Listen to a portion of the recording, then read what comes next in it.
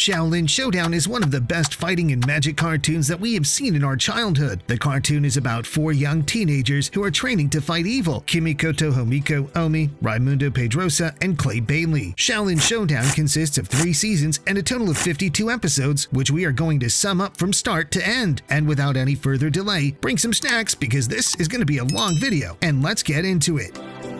Kung Fu Xiaolin's background. Dragon warriors have been around for a long time, and they are called dragon warriors because their spirits are linked to dragons. But that's not all. Their essence must be pure so that they connect them to the dragons their entire life. The Shen Gong Wu are powerful magical objects, each with a unique power created by Grandmaster Dashi and are meant to help humanity. However, they also destroy it if used badly. When things go south, there's always the cosmic dragon who is asleep somewhere and can help the dragon warriors, and this dragon is the representation of the universe in its entirety. And because there is good in the world, there's also evil, and this last is represented by Wuya, an evil witch who wants to dominate the world. Wuya was defeated 1500 years ago and trapped in a wooden puzzle box by Grandmaster Dashi, the greatest Xiaolin dragon of all time. Their battle is considered to be the first Xiaolin showdown, and this story has many versions because Master Fung changes it a lot of times. Wuya getting locked up wasn't the only outcome of the battle because Grandmaster Dashi scattered all the Shen Gong Wu all around the world after they had been used to keep peace for generations. The artifacts can only be tracked by Dojo Kanojo Cho, their guardian of the ancient scroll of the Shen Wu and the dragon that the Xiaolin warriors ride on. According to legends, this whole story took place thousands of years ago, and even Master Fung says he feels young like when he was a hundred years old. This also indicates that the disciples of Grandmaster Dashi are more than a thousand years old, and we will know why later so that we can learn the story of one of the strongest kung fu warriors out there. So among the warriors, Grandmaster Dashi had many disciples, but his most outstanding ones were Chase Young and Master Monk Guan. The two had to train extremely hard while their masters slept, which was the norm at the time.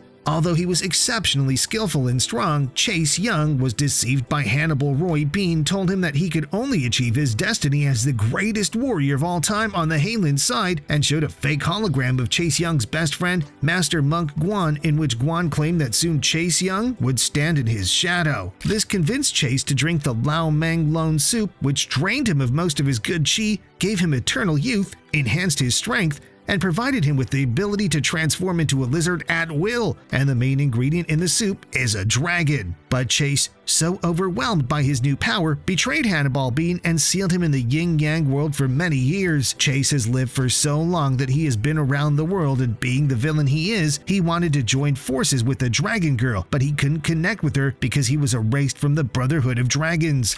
This infuriated Chase Young, which made him attack, create a mess, and hurt many of his classmates, and it was probably there where Grandmaster Dashi lost his life. Chase Young tried to connect to the Dragon Girl but to no avail, and the Dragon Girl chose another guy, so from then on, he was left with a thirst for revenge. One of the few people who remained alive was Master Fung, who left with the dragon to the temple. Master Fung has been raising a kid named Omi since he was an orphan in the Xiaolin Temple, who has been chosen to become the water dragon of the next generation of Xiaolin dragons and is also a relative of Chase Young, but the nature of their relationship is never explained. However, what we are sure of is that Omi resembles Grandmaster Dashi a whole lot, but nothing more than that. Some time later, Chase Young fought his partner Monk Guan and defeated him in a battle. Monk Guan lost his weapon during the said battle, and in order to get it back, Chase Young made him look for a dragon as it was an ingredient in the Lao Mang Long soup. Omi is not yet a dragon warrior because he hasn't finished his training yet. When Master Fung receives new students who are the dragon warriors just like him, Omi is supposed to be in charge of them, but they don't respect him enough because he is small and looks innocent. At the time of their arrival, they didn't have enemies. However, there was this guy named Jack Spicer who always wanted to be a villain but couldn't until he received this box as a present from his parents who were on a trip to Hong Kong. As you might guess, the box was the one in which Wuya was locked, so the moment he opens the box, Wuya's spirit comes out and the evil witch incites him to gather the Shen Gong Wu to conquer the world.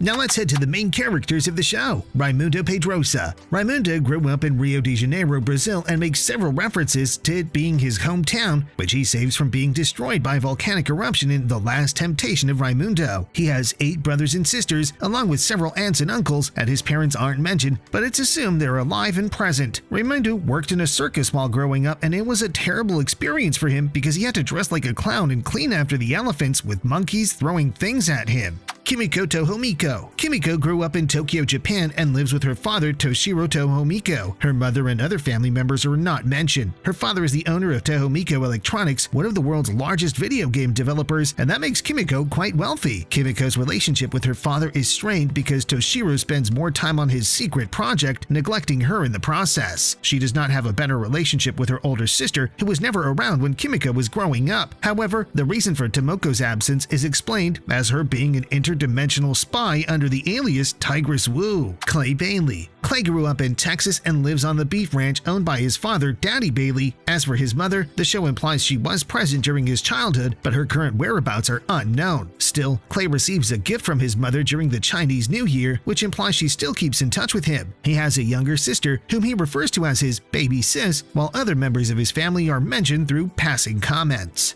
Omi. There is little information about Omi's early life, and his background varies between the original series and the reboot. He is the only monk that doesn't have a last name. Likewise, the status and whereabouts of his birth parents are never mentioned in either the original series or the reboot. His appearance shares similarities with Grandmaster Dashi, most notably their yellow skin. However, the relation between them has never been explained or elaborated, so I personally believe that he is an ancestor of Grandmaster Dashi. In the show, Omi states that he is an orphan when Dojo tries to deceive him in Enter the Dragon by shapeshifting into his mother. His birth parents are mentioned in Omi Town, but whether they're still alive or not is unconfirmed.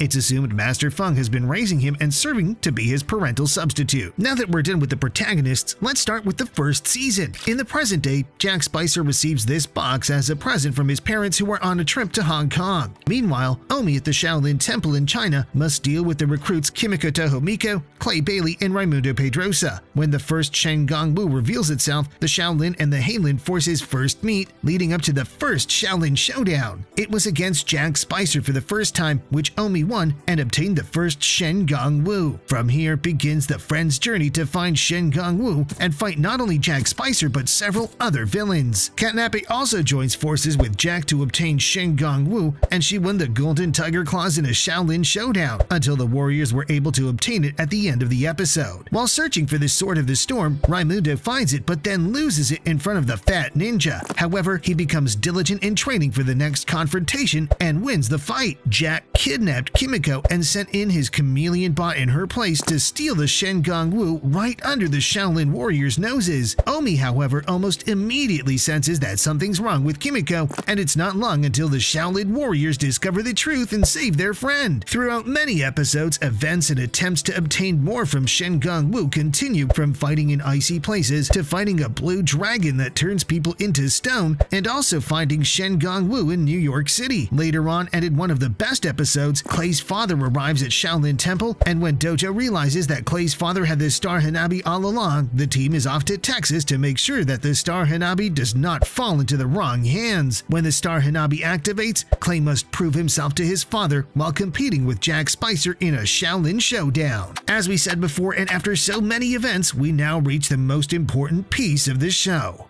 Jack and Wuya recover the Heart of Jong, and Wuya uses it to create Mala Mala Jong using many Shen Gong Wu, which are Helmet of Jong, Wushu Helmet, Two Ton Tunic, Third Arm Sash, and Fist of Tebi Gong, Jet Butsu, Shroud of Shadows, Eye of Dashi. With it, they were able to create an unstoppable demonic warrior who headed to attack the Xiaolin Temple and destroy it. In the meantime, the students knew, so they fled to the mountain to hide and preserve their remaining Shen Gong Wu while the remaining warriors of the temple fought with all their might. At this time, Raimundo was worried about his teacher and disobeyed his orders and went to rescue him, which caused their hideout to be known and put their lives in danger. Luckily, and after a series of events, Omi was eventually able to eliminate Mala Mala using Golden Tiger Claws. However, after the great victory, Raimundo doesn't get promoted to Xiaolin Apprentice level because he disobeyed Fung's orders, so Wuya persuades him over to the Heylin side. When the reversing mirror reveals itself,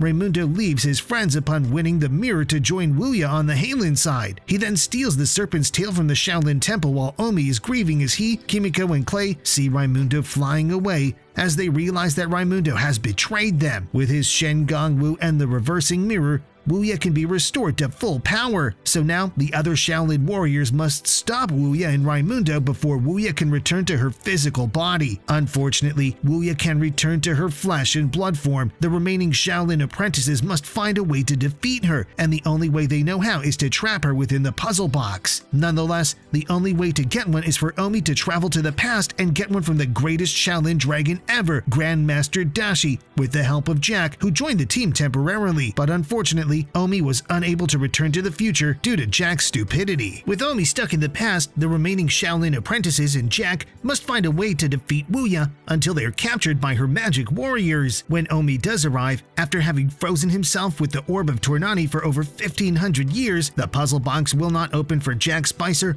or any of the Xiaolin, and now Raimundo must decide where his loyalties lie. In a touching moment, Raimundo decides to betray Wuya and save his friends, opens the box, and locks Wuya in it. Raimundo then gets promoted to a higher rank after he returns to his friends and Omi offers Jack to stay and fight for good, but that does not work and he prefers to return to his old ways. With Wuya trapped in the puzzle box again, the Xiaolin apprentices train, feeling safe from the threat of evil and back to searching for Shen Gong Wu again, and go on many wonderful adventures such as Dojo's intense desire to collect Shen Gong Wu he will destroy anything in his path in his quest to do so. He is locked in a cage to protect him from destroying everything. The Xiaolin warriors also receive a warning from Omi's future self to get the Sands of Time, but when Jack Spicer gets it first, he collects all the evilest people from the past and himself from the future and uses his future self's knowledge of the locations of the Shen Gong Wu to beat the Shaolin before they can get to them. The warriors defeat Jack Spicer and his future self in the end. Then another adventure in which the warriors face their worst nightmares. Until we reach this important moment and the appearance of the strongest villain in the cartoon. The Xiaolin meets the Tai Chi master, Master Monk Guan, when a new Shen Gong Wu reveals itself. He then brings a downtrodden dojo to chase Young, the evil master, in exchange for his fabled Spear of Guan, which he lost to Young many years earlier. When the Xiaolin monks learn that Chase intends to use dojo as an ingredient for his Lao Mang Long soup, the Xiaolin monks head to Chase's lair and try to save Dojo, only to be defeated by Chase Young's creature form, a reptilian creature possessing incredible strength and power who defeats them all with ease. Master Monk Guan then intervenes at the last minute and challenges Young to a battle with the monks and Dojo's freedom at stake. If he wins, they all go home safely, but if Guan loses, then they will all be Chase Young's prisoners forever. Monk Guan won the challenge and broke free from Chase Young's grip, then gave his sword to Omi in appreciation. When an evil spirit takes over Clay's body and begins causing various acts of mischief, Chase Young tries to help Omi in training to save Clay from the evil spirit's control and attempts to get close to him for an unknown reason. At the same time, Jack tries to get close to Chase Young and help in his evil work because he is his role model. Mala Mala Jong returns and four times as powerful as he divided himself into the fearsome four using the Ring of the Nine Dragons. This sign of the end of the world can only be ended with the Emperor Scorpion, a Shen Gong Wu who controls another Shen Gong Wu. In the end, they get Shen Gong Wu in the Showdown Challenge and defeat Mala Mala Jong. In another adventure, the warriors meet Clay's sister Jessie in Texas and obtain one from Shen Gong Wu. We also meet Kimiko's father when the team goes to Tokyo when Kimiko learns that her father has been tricked into working with Hong Kong crime boss Panda Bubba. In order to prevent Panda Bubba from turning people into zombies, Kimiko must defeat him in a Xiaolin showdown. After this long adventure, we will finally see Chase Young's intentions to include Omi in his team of evil. When Jack Spicer and the Cyclops trap Chase Young, Jack attacks the Xiaolin Temple and steals all of the Shen Gong Wu. Omi frees Chase to help him, only for Chase to try to mold him into the evil that he sees in him. Chase Young then sends a training spy to the temple, but he is exposed and fights Omi in the Showdown Challenge. When Master Fung is trapped in the Yin Yang world by Chase Young, who frames Jack Spicer, the only way they can free him is with the Ying Yo Yo, which they lost to Jack Spicer. Omi is then tricked into going into the Yin Yang world alone, but when he returns with Master Fung, Omi's appearance and personality change for the worse because his chi has been left in the yin yang world which has Omi turning to the side of evil and working alongside Chase Young. With Omi having been turned evil and now on the Heylin side, then Chase restoring Wuya to her human form and Master Fung stuck in a meditative state, the remaining Xiaolin apprentices must find a way to save their friend and their caretaker before it's too late. In the end, Raimundo, Kimiko, Clay, and Jack, who now is good, after leaving his evil chi in the yin yang world, are forced to flee Chase's lair after realizing that Chase is now more powerful than ever and in control of the world while Raimundo silently grieves for Omi, who is unable to leave Chase's side and is mutated into a cat. With Omi still on Chase's side, the others try to figure out how to rescue him without surrendering. Dojo senses a strange presence at the temple. The translucent character that emerges from the yin yang world is the Chi creature. They trap the monster in the sphere of Yun. When Chase, Wuya, and Omi arrive at the temple, Chase releases the creature with the serpent's tail and it drains Master Fung's Chi, and then he tells it to go after Raimundo, Kimiko, and Clay to drain the chi out of them too, leaving Jack and Dojo to get them back. Jack Spicer uses the Ying Yo-Yo and lures the creature back into the Yin Yang world. He uses the Ring of Nine Dragons to make clones out of him to hold off the creature while he picks up the monk's chi and exits with his evil chi back. Dojo takes the chi, the Ring of the Nine Dragons, and the Ying Yo-Yo and traps Jack Spicer in the sphere of Yun. After recovering the monks, they challenge Chase to a Xiaolin showdown. It's a soccer game with no Shen Gong Wu involved. They win the game to gain Omi's freedom. Thus, he saved Omi from evil. In the end, they all achieve the level of Wu Dai Warrior. After the end of the second season, the third season began showing and a new evil character appeared named Hannibal Roy Bean, which resembles red beans as the name says. This villain was the reason Chase Young turned into a villain in the past. A new Shen Gong Wu, the Moby Morpher, has been revealed. Kimiko manages to get it, but it is soon stolen by the Ying Ying bird. The bird takes it to Hannibal Roy Bean, the villain responsible for turning Chase Young evil, and who Chase trapped in the Yin Yang world almost immediately after being turned evil. Hannibal Bean then tricks Omi by disguising himself as Jack into freeing him from the Yin Yang world and now Bean plans to unleash a new type of evil on the world. The team's adventures continue, and in one of them, Omi discovers parents that he thought were his parents, but in the end, he knows they are fake, and he's an orphan. Raimundo betrayed the team again and cooperated with Hannibal, but in the end, everything turns out to be just a test from Master Monk Guan. In the next episode, Hannibal Bean gets into Omi's head while he is sleeping and tells Omi that he should take all the Wu Dai warriors' elemental Gong Wu and master the power of the elements to become the Xiaolin leader. He was able to actually master all the elements and engage in a legendary fight against Hannibal and defeat him. At this point, we have reached the last episode of the cartoon, which consists of two episodes named Time After Time Parts 1 and 2. So, Master Fung tells the monks that the leader will be revealed after they do their last quest, Omi decides to go back in time with Dojo and stop Chase from entering the Heylin side. Realizing that he needs the sands of time, Omi freezes himself for 80 years to talk to his old self, but he realizes that Jack Spicer has conquered the world in his absence. Omi successfully switches Chase Young's evil Lao Mang Long soup with pea soup, which stops him from turning evil. However, in exchange, the future has changed for the worse. Instead of turning Chase Young evil, Hannibal turns Master Master Monk Guan evil. Omi's friends are turned into farmers, while Master Fung is trapped in the yin yang world and Jack turns good once again. The Sands of Time was destroyed with the Kuzusu atom by Hannibal Bean, which makes it impossible for Omi to go back and undo all of Bean's actions. After acquiring the soup Omi hid in the past, they are captured by Hannibal and his crew. Chase then sacrifices his good side to free the warriors. After the warriors get to the Heylin Seeds vault, Hannibal and his crew start a Xiaolin